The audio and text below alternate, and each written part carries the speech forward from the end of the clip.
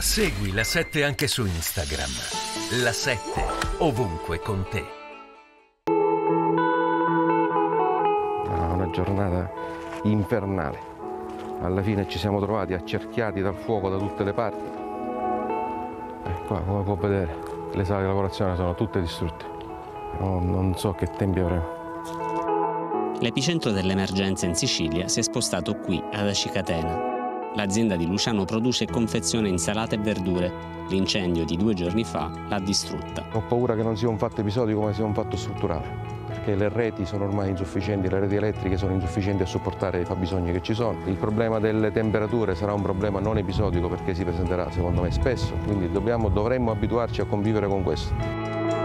Al di là degli incendi, qui si fanno ancora i conti con la mancanza di luce e di acqua. Abbiamo iniziato da giovedì, venerdì, l'altro della scorsa settimana e ancora oggi io ho tutto il paese senza energia elettrica e io ho una città con 50 gradi senza acqua, senza energia. Nelle zone in cui non potevano stare le persone che, che era disabile ci abbiamo pensato noi.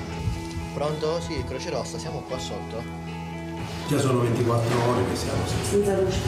E poi viene 10 minuti nei giorni scorsi, poi se ne va. Giovanni è disabile, affetto da poliomelite e si sposta con difficoltà. Ha affidato alla Croce Rossa alcuni medicinali da tenere in frigo perché da giorni è senza luce. Io senza motorino elettrico, non, senza energia non lo posso caricare e resto prigioniero a casa. Da quanti giorni non lo carica?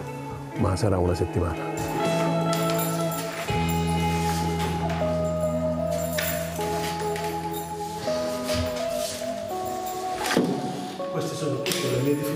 Giornaliere. I farmaci di Giovanni vengono portati qui, al centro operativo comunale, dove l'energia elettrica è garantita da un gruppo elettrogeno e dove hanno trovato refrigerio i più fragili. Sono senza luce e senza acqua. Adesso c'è un caldo pazzesco.